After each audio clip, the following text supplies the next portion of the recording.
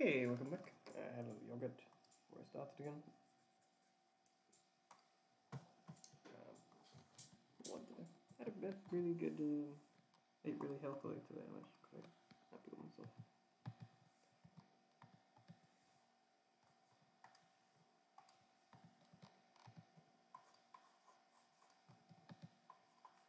I do you find when I eat healthily, I want to like a burger or something. Come on.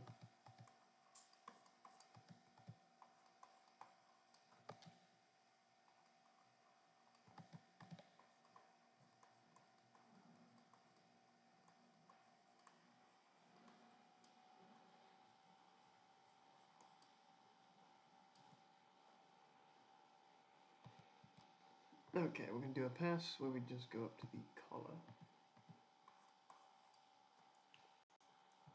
Oh, actually, here's something I can talk about. It's a new uh, show I've been watching, uh, Lupin. I'm trying to learn French, so I've been watching, uh, well, I watched uh, about two episodes of Lupin. But I've, I've really been enjoying it. I actually find it quite fascinating because it's, um, it's an interesting writing uh, premise. Where, because I thought, I know that Lupin is a animated, well, I know it's a book series written in like the 1930s, I believe. Uh, about the gentleman burglar or something like that.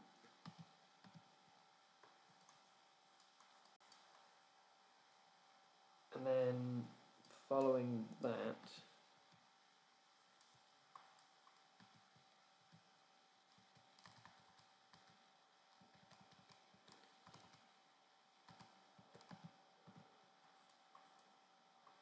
comes a uh, you know what? Totally forgot what I was say.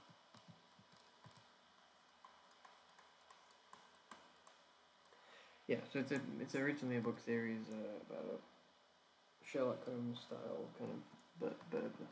So, I guess if Moriarty was good, in a sense. But uh, I find it interesting because the char- the main character of it uh, is not like it's not the main character in the books. It's um, it's a person who's basically used the book and the methodologies and teachings of the book. Well, not teachings, but the concept of the book as a sort of like a Bible or just sort of as a motivation in life. And that's very fascinating. To have a character that looks at this um, piece of literature as his source of inspiration. To actually become the character because they are enthralled by it.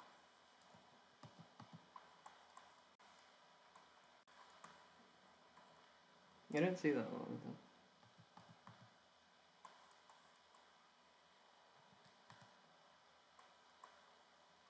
To be honest, a lot of writing nowadays is very um basic be the right word? Maybe. Nothing really comes out that makes me go, gotta watch that. Maybe it's because I maybe I watch too much TV. We all watch too much TV nowadays, but maybe not. I don't know.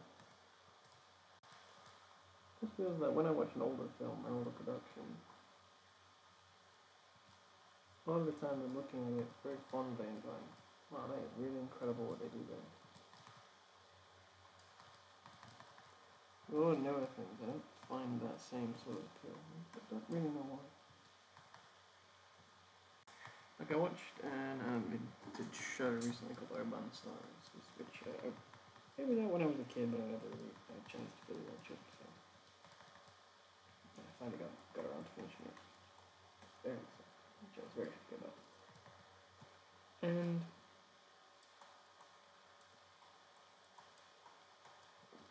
it was it was pretty good. Can't deny it. But there were a lot of animation things in it. Like, how do we do that?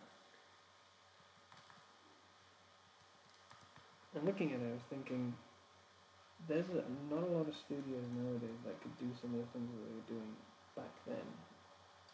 So are we really going forward in technology? Or are we going forward with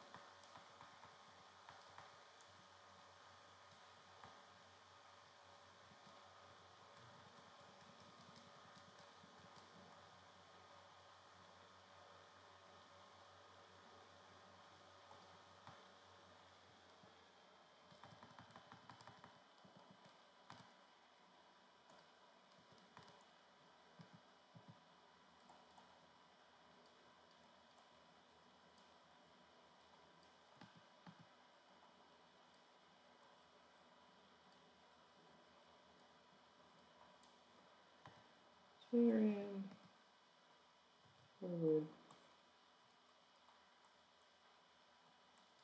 To be honest, there's so many uh, books nowadays that people could draw from that I'm surprised they don't use them as reference more often. Look how successful Game of Thrones was.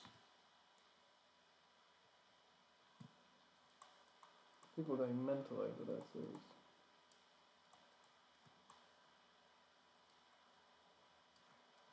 Like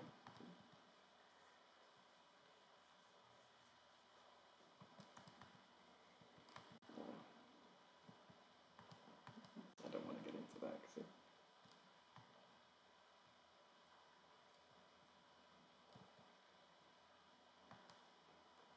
me and my brother talk about um,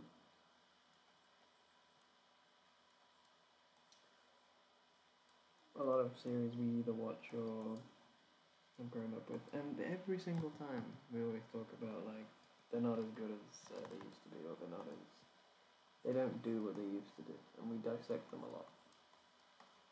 Uh, I've been doing it for a long time, and every single time it just makes me kind of annoyed that the series that I've grown up with and respected the craftsmanship that went into creating such an amazing series. Uh, it just isn't there anymore. I'm loving it. It's all because the amount of times that I'll watch something like that and people will go, "Oh, why didn't it? Why did it fail? Or why did it not do what it they said it was going to do?" Because well, you know, the network got. And every time.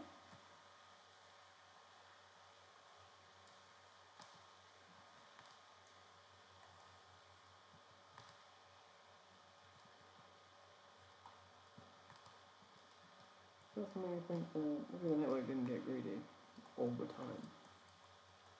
Somebody has fucked up, but I don't really want to say it.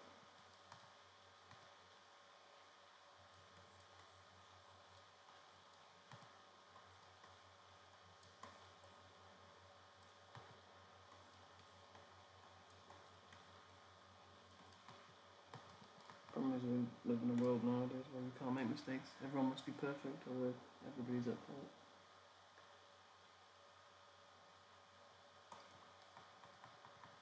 Bizarre how much everyone's at each other's throats.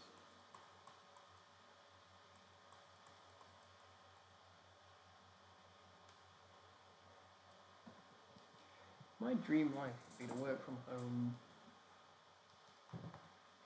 on products I love. Well, yeah, work from home, time eating away,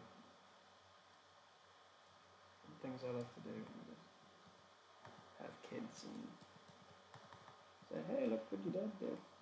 Pretty damn cool. And then being like, fuck yeah. Nah, fuck that.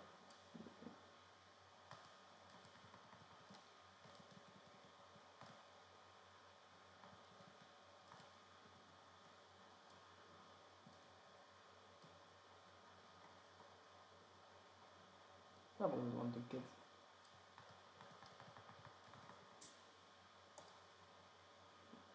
Okay.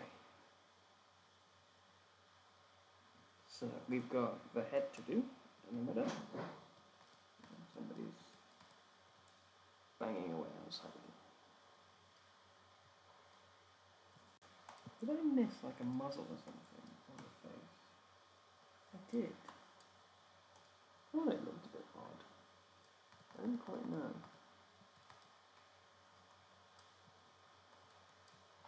Same for that one as well. Then.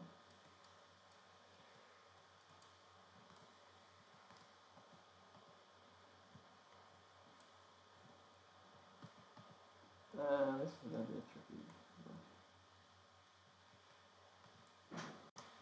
The way I'm gonna do it is I'm gonna do the here.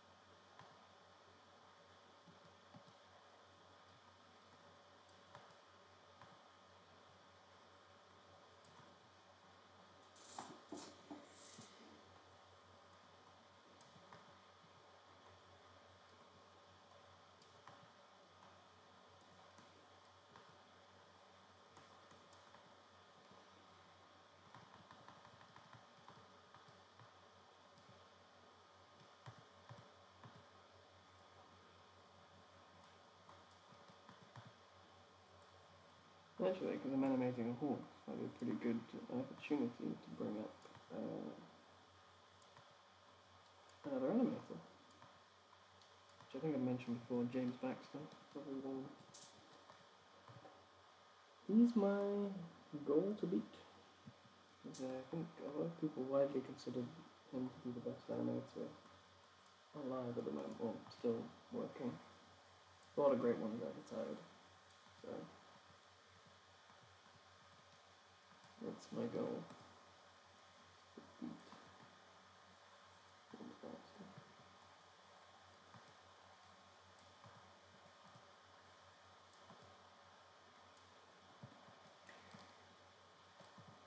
I don't know if I mentioned this before.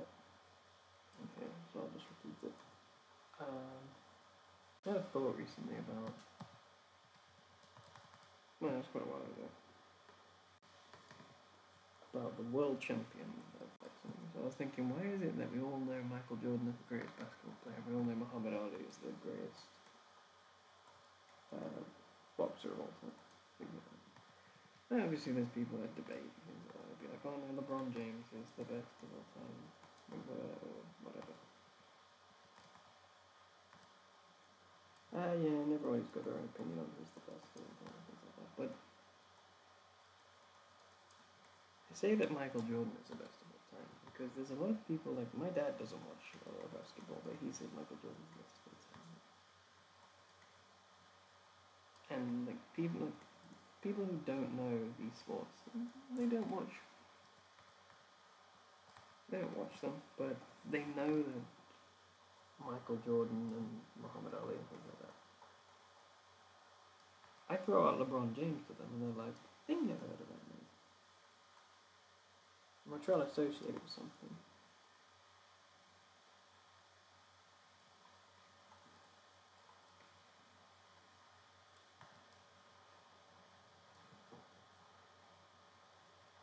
But they they can't put the thing. Either Michael Jordan, name, they know the name, they know the face, they know pretty much all about it.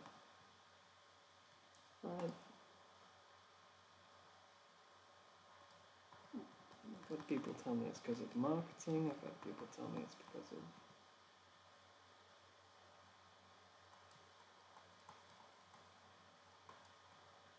the media.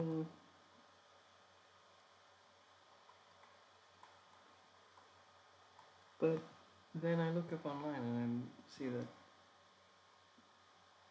they don't look up news stories about like Michael Jordan and like that. They never see basketball stories. Like I'll ask them about it, and they'll be like, "Oh yeah, you know, this story came on about uh, Michael Jordan or whatever." I'm like, I haven't seen that the media actually has that much involvement with it. So where does it come from? With Muhammad Ali, I kind of think it is media, to be honest. And the reason I say that is because he was the first, and to be honest, probably the only kind of boxing champion that, maybe sports champion, that went above and beyond what his, what the company, or the broader company was actually doing.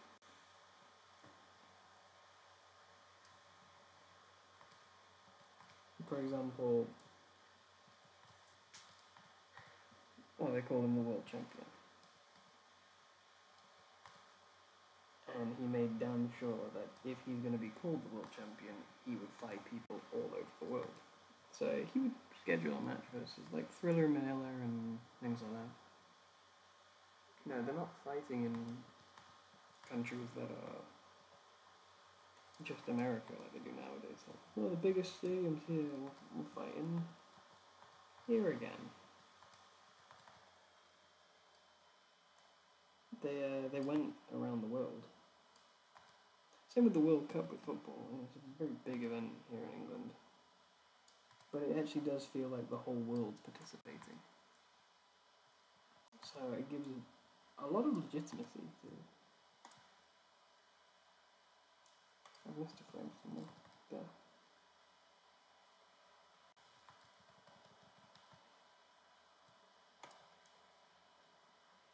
It gives a lot of legitimacy to these um,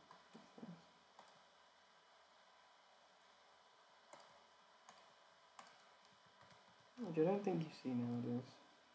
I don't know if it comes out of selfishness, of people wanting to. Oh, I think it comes down to laziness a bit. You know, they want to keep their um, their brand close to home. They know they're going to be sold out, out in uh, this American. It's his own turf or something like that. Or yeah, we can always put it in his own turf, and they can make the seating more accommodating, things like that.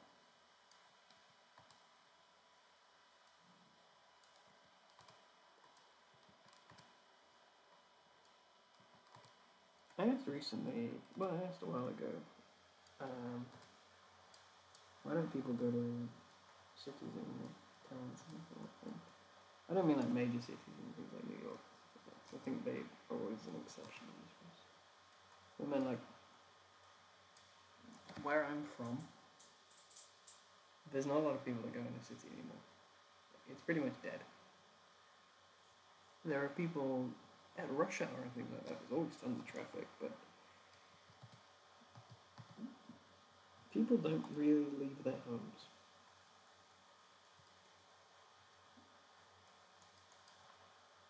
Uh, I've, I've seen older generation of people being like, oh, you know, these kids nowadays, they don't all that." But,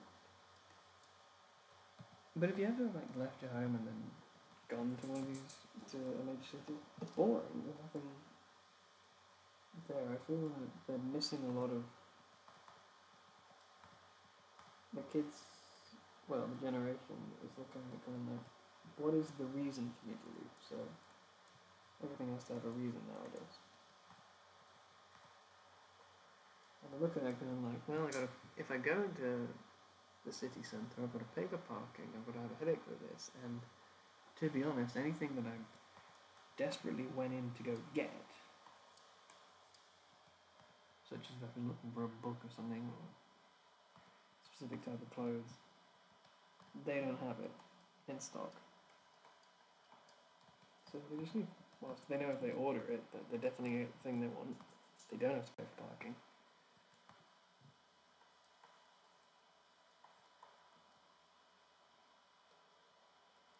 they just uh, they just leave.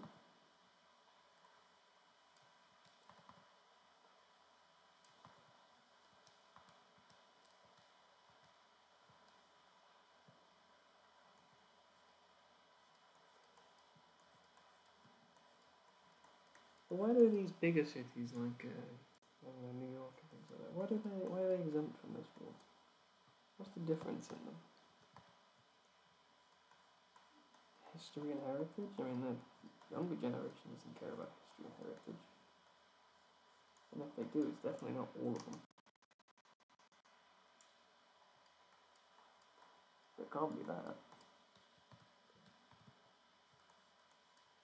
I originally thought it was spectacle. I thought that people would go to these sort of things, and in the current generation and stuff like that, they go to these cities and they save them on Instagram and they'll get a thousand likes. And they go to this cafe. Which might be might be the case still. Sure, the difference between London and Paris is uh, its monuments, but the difference between mm, I don't know, it's two random cities in England.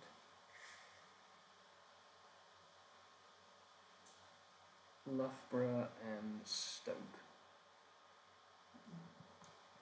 There's probably a lot of natural things in both of those uh, places that are very cool, but if you don't live there, you don't really get to know about it.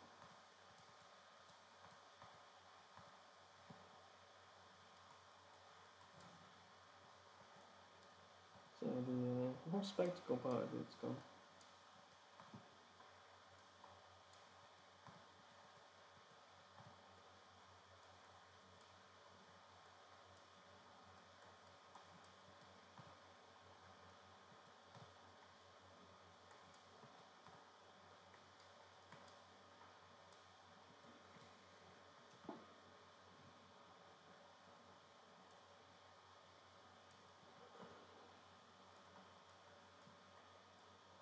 Honest, I think a lot of businesses should focus on reinvesting all their money into the company.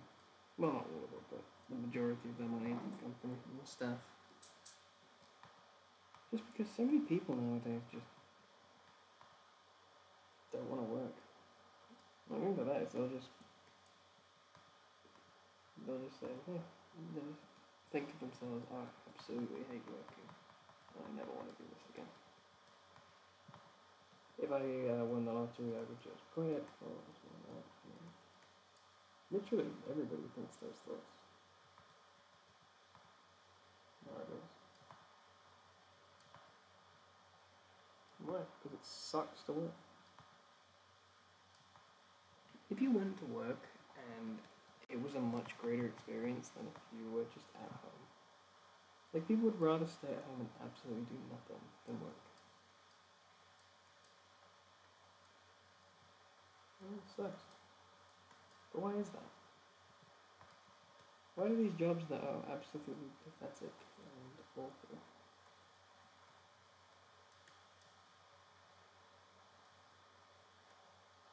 Why do they still exist? Why aren't they just fully automated? Like you honestly can't tell me that a, a supermarket could not fully automate, could not run off full automation and just have one security guard on the scanner. Like the self-service thing, okay, fair enough, but like that solves it. But for the shelves and stuff like that, it's like you could literally just build an entire basement at the storage room and just store everything there, unpack it in the morning. Well, you can even have the machines just unpack it and then place it there and just as soon as it's low it just shoots it up. Or just lifts it up. Hydraulic lift. It'd be more upfront cost, sure, but they might need to save on staff. But they need to start getting into an unemployment crisis. But you only really get unemployment crisis because people stop developing. Look at Disney. The business that could do anything and it does nothing. It always plays it safe and does the same thing over and over again. Just because uh, every CEO is in charge of it, COO, CFO, Chief Financial Officer. Just like, right, we'll just do the same thing, you know, one animated film a year, write off the profits of this, blah, blah. They don't actually grow.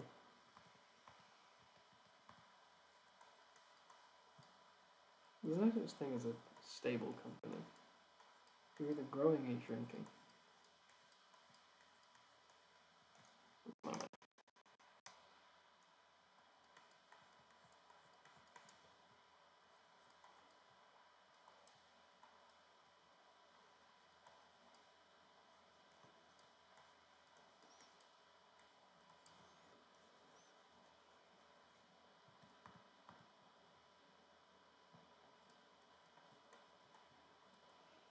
One thing I like is um, in Japan, I think it's in Japan, they have a thing called a small business tax.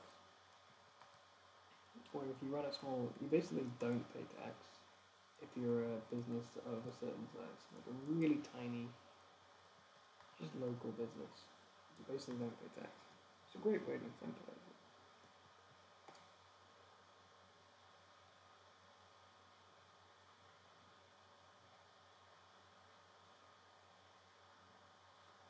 Okay, this is our Dre horse walk animation. I am uh, I'm really pleased with it. I think it's a really lovely animation. Let's uh, let's chuck in a background. Give it an export. That'll be it, to be honest. So obviously this is day 27. Well, obviously I forgot what it was. Uh, this is day 27 and uh, I'm really enjoying this uh, multiple.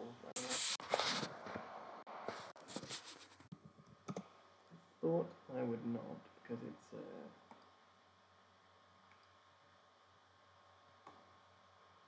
yeah I thought I wouldn't because I thought it would kind of like tax my brain too much but I don't know it's actually proving to be more fun.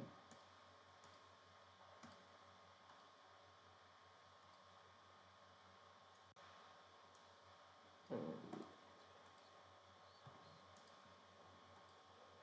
week six walks. Tomorrow will be O'Malley from the Aristocats, and it'll be a reaction or a take. I'm thinking of having him like sip uh, sour milk and then just spit his tongue out. It could be. We'll see. Alright, well, thank you for watching. Um, I'll try to play this.